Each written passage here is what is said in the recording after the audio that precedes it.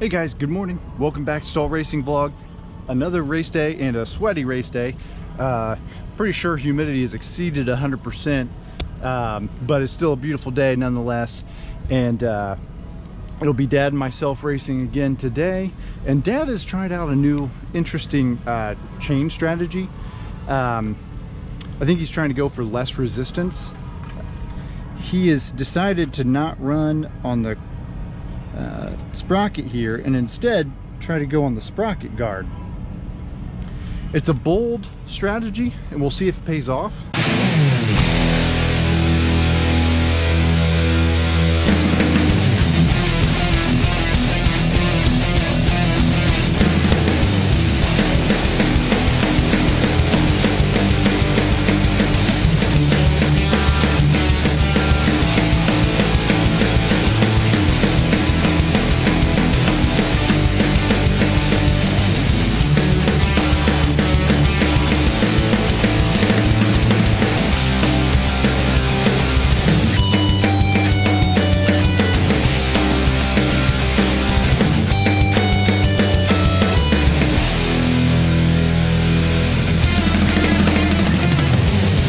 That was the strangest thing. I don't know if he had too much slack in his chain for that practice session for the first session of the morning, but uh, it jumped the sprocket onto the uh, chain guard.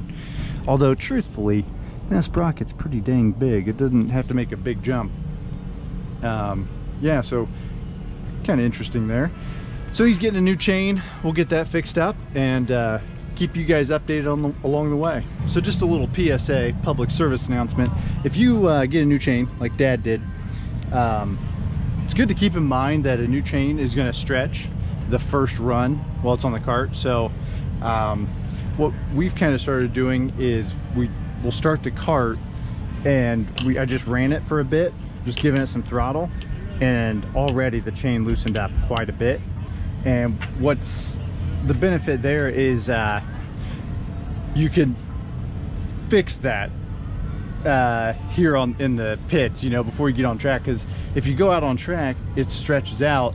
And there's a good chance it's it can get too sloppy, too much stretch, and you could, you know, especially in Dad's case where he doesn't have much uh, of a chain guard there, uh, it can you know jump the chain guard. So just a little trick that we do. Uh, you know, maybe it'll help you out. Oh, real quick uh, last step though. Once you do that now I'll go back and retension it and take it back to uh, the tension that that we like which actually normally that's that's pretty good tension. I just don't love how little chain guard dad has protecting him. But yeah usually that's about that's about the tension we would run. Loose chain good chain but I'm gonna have to tighten it up a little bit for dad. You guys are seeing history in the making. The old man has never been this far up on the grid in qualifying. This and dare I say he might go a little farther forward? It's not qualifying, it's in line to qualify. This is my best performance ever. Getting in line The best to performance getting in qualify. line? Yeah. I've been real aggressive. I want to thank the cart stand. thank Kacy. You know, we just uh, wouldn't take no for an answer and we pushed up all, it looks like we'll be 12th or 13th out of pit lane. So it's a real good performance for us. So qualifications are over. Qualified 18th out of 26th. Um, had something every lap, so I think there was a little bit more in the cart. Uh, I'm four tenths off 17th. I don't think anything cost me four tenths, so I ended up where I belonged. Uh, thank you to uh, a cart in uh, lap two that, that gave me a courtesy, pointed me low and uh, allowed me to save some time and get by him. I appreciate that. And I think the cart's pretty good for the race. We'll see how it, how it goes. I'm fairly optimistic. Hey, good morning. It is a beautiful morning and we are here at the German chocolate cake of go-kart tracks New Castle Motor Sports Park.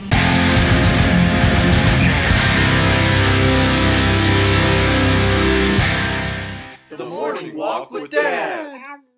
You know, I've been trying to up my game here on the morning walk. And this week, we're going to talk about Occam's razor. Actually, we're not going to talk about it. Occam's razor, you will often heard, is defined or described as the simplest explanation is the best explanation or the right explanation. Well, what it technically means, Occam's razor, is you shouldn't multiply factors arbitrarily. And so the correct hypothesis is usually the one with the fewest assumptions. None of that matters. What matters is if the simplest best if the simplest explanation is the best explanation is not Occam's razor, there is ground for us to grab. So from now on, the simplest explanation is the best explanation is Stahl's razor. So Stahl's razor says that if we were to look at my qualifying run today, which was mediocre, we could look at the cart, we could look at the engine, and we could look at the driver. Well, we know the cart is as good as it gets, the power is as strong as it gets, so the simplest explanation is the driver is not that good. I think we have plenty of proof. Stahl's razor, put it in the bank. You know, when we camp, we camp here in our Jayco SLX 26BH, something like that. That's the model number. But I was telling the family, it uh, that may be changing because right here, I have offered a straight up trade.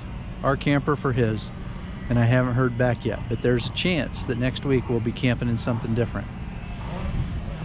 Well, I qualified, um, got fourth, which is just fine. I mean, I'm happy with fourth because um, the cart is, man, it's on point. It's very fast. There was there was more there for sure, which kind of comes to some frustration, like just historical. Just I've been doing this for a long time now. We started in 2015, and. Uh, that whole time I've only had one pull. I think it was last year. And it was in the rain, which is my strong suit. I've never gotten a pull in the dry. And I know why every time. It's all about strategy out here because they don't allow bump drafting.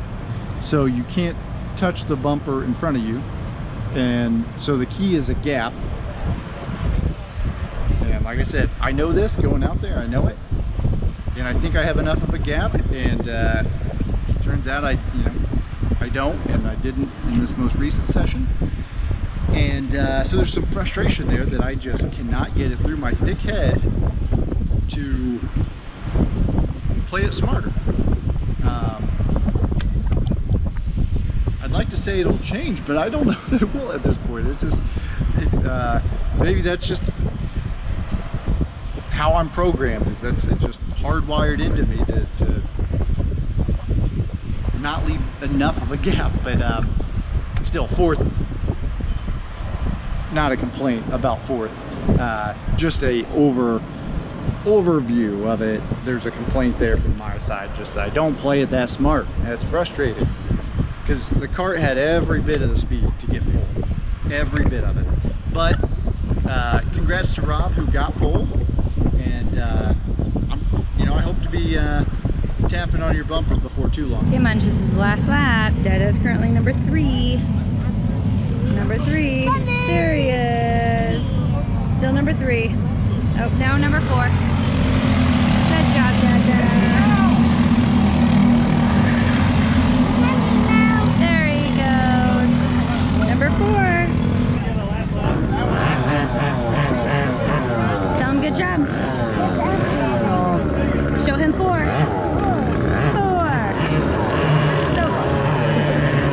Hey Ben, can we see that back? I've heard about the back. Oh, let's see it. Now I definitely want to see it. There's nothing to see. Really? Let's that one. Regan, is there anything to see? There's not. No comment. Yeah. In my head, it blends in with I the yeah, I was gonna say, I wonder if we could tell. Let's see. He honestly did it. Have a look. Oh, I figured you would. Oh. Oh, let's see it all though. The line. Oh, maybe you don't want to peel it up. How long it stays white? What happened? How? What happened to cause that? I just was napping yesterday Napping where? on a tube On a lake? in the sun. You know, a couple weeks ago, we were at Whiteland for a race with Kacy, and we had a group next to us, and they left us a real nice note when they left. And one of the questions they asked is, Where's REO Speedwagon? Well, today, they are back. So here we have the Birel Art ghost powered REO Speedwagon. She's a rocket. Oh, wait. She's saying something. She's saying, time for me to fly.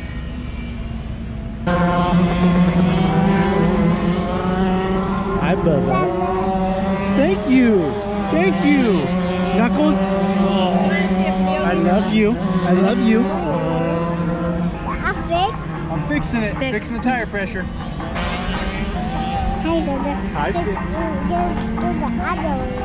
Do the other wheel. Go fast. Yeah, then it'll go fast. Go fast. You know, it's nice to have a little hype man. You're just like my little hype man. There. You are. Little race wrap up here. I started fourth in that race, and it would, did not go well. Almost immediately. so started fourth, and uh, first place uh, caught the curb, and I think that that sent him wide into second place, which knocked her off track.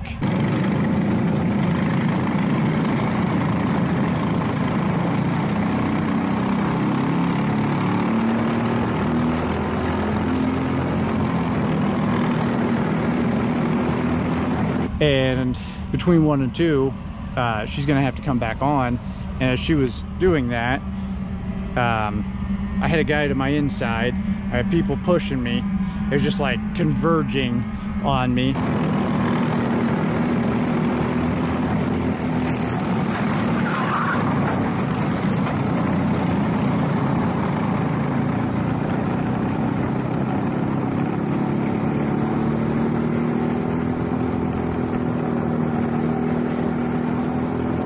Somebody hit my left side here and uh, gave me a little tweak to the axle. I don't know if the camera will show it, but there's a little little bend there and that was enough to really change the cart. It was not it was not fast at that point.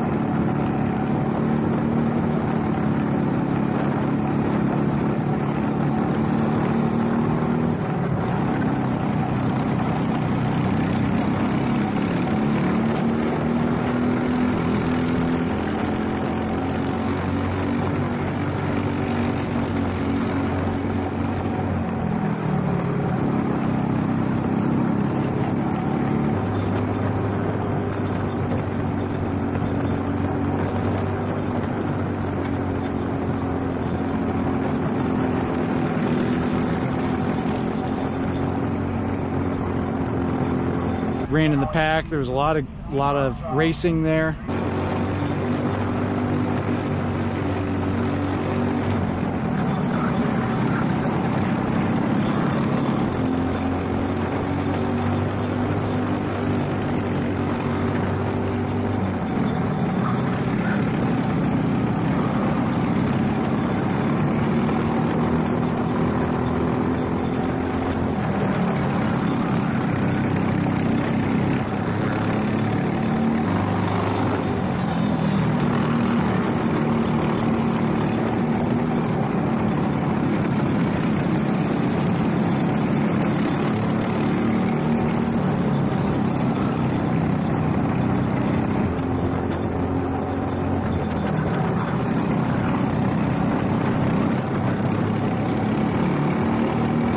Coming into uh, uh, one of the corners, I was too wide with Logan, and uh, so we went too wide through one corner, and then a second corner, and he, I knew he was going to have me uh, in that next corner, and so he he had that corner.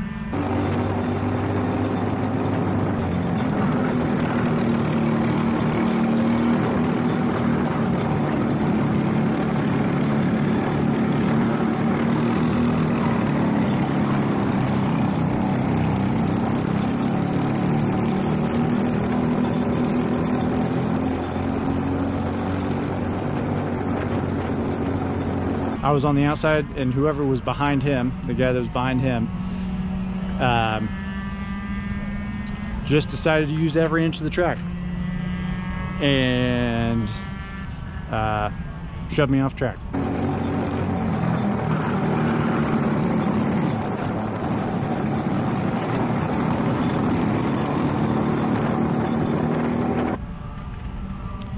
And I'll be completely honest with you guys, I did not receive that very well. Um, so, got knocked off track, and my my mission at that point was to catch him and pass him.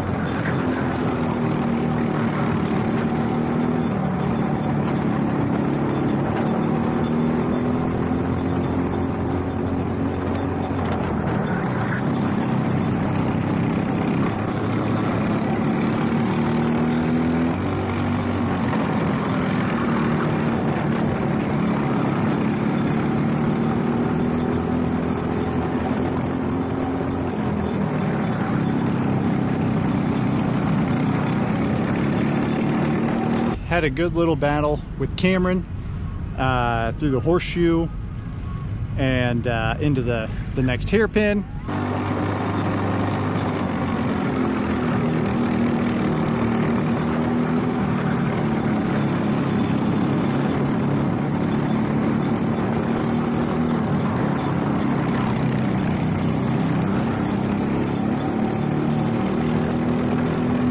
So I caught the guy that shoved me off coming up into the corner that I had been shoved off in.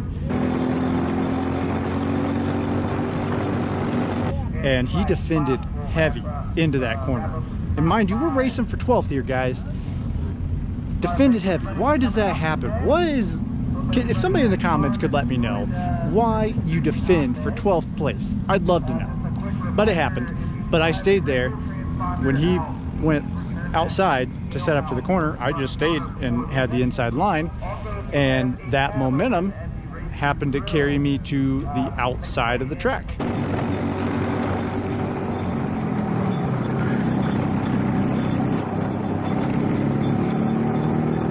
And I ended up getting 12th position, and that's where I finished.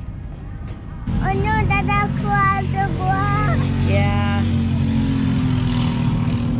the block. Yeah. Dad, crossed the block. Yeah, that, that wasn't a crash, but he's okay. He's still going. The going. He's still going. He's still racing. The cake. Uh-huh, he's okay. Dad, what goes through an 18th place starting spot person's head? I'm thinking about Stahl's Razor right now. And, uh... Which I'm not, I don't get it, here. what that is. Yeah, Stahl's Razor. I explained it earlier, Case. Race wrap up.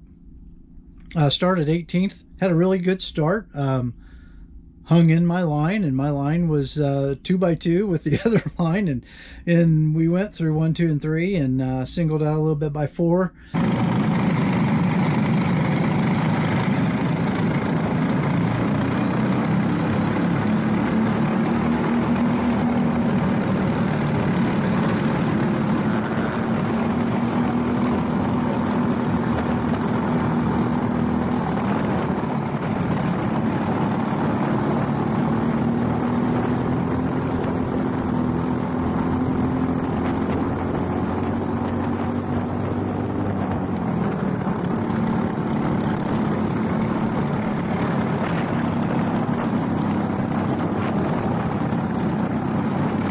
There on, I I got around uh, George um, and uh, had been passed by John.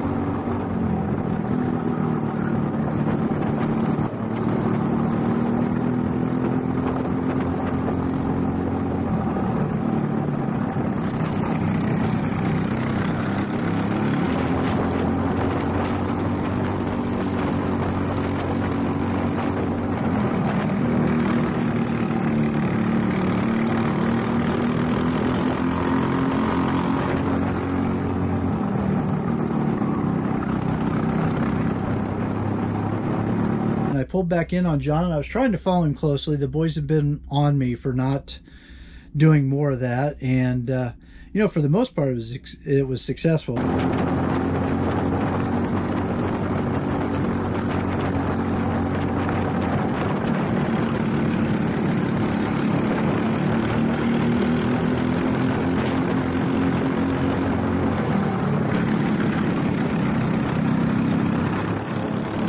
but I did get into uh, John. I had a good exit of a, a hairpin, and I, I just you know got into his bumper a little bit, and it shot my car into the grass, and George was able to get back by me.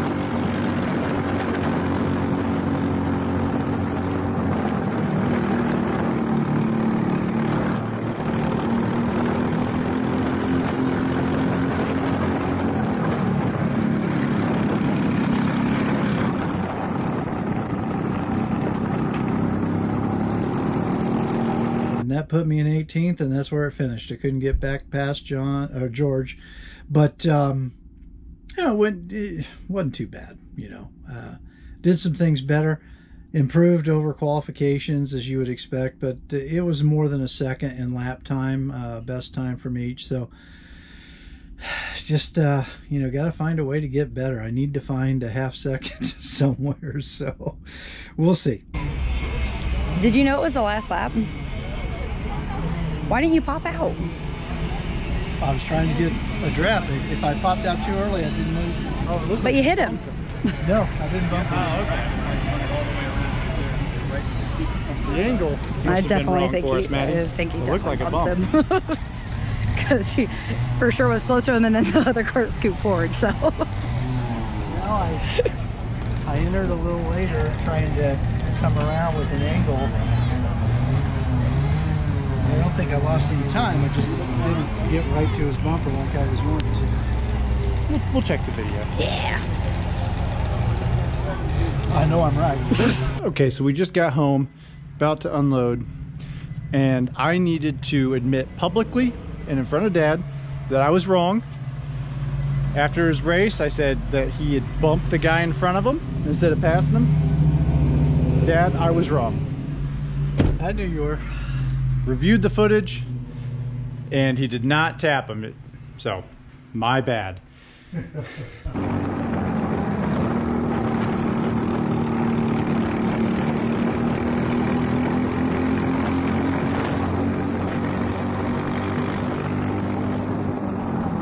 But overall, uh, it was a great weekend. And honestly, like anytime you're at the kart track, great time.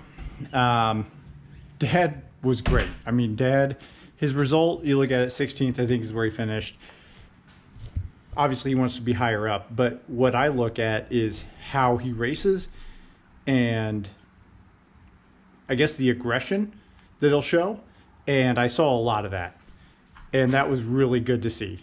Um, that's really all I ever want to see from Dad is him him driving to his you know his tail off really, um, and that's what he did. So that was awesome to see.